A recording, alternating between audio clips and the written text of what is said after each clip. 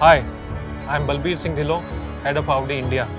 Progress for me is about listening, whether it's listening to our colleagues, our stakeholders, our dealer partners, or listening to the environment. What we have to do is change ourselves, unlearn and relearn.